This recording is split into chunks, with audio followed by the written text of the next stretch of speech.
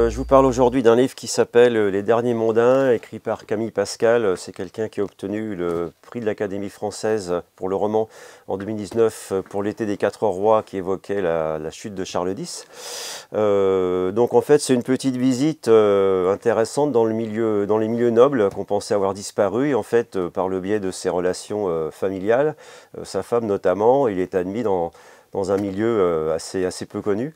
Et il en raconte euh, des, certains événements en, en, ne citant pas les personnes, en ne mettant que l'initiale de, de, leur nom. Mais bon, euh, il y a notamment un dîner chez le comte de Paix, point de suspension.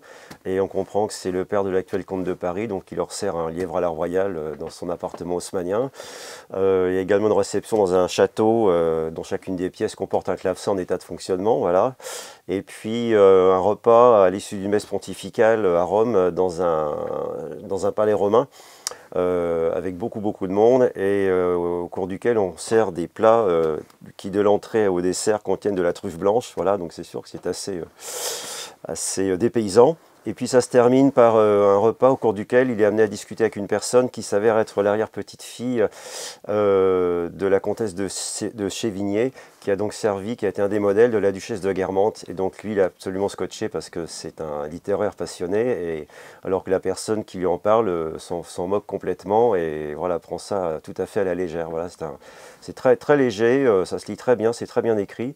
Et voilà, c'est un monde qu'on ne connaît pas et qu'on découvre de manière intéressante et intelligente.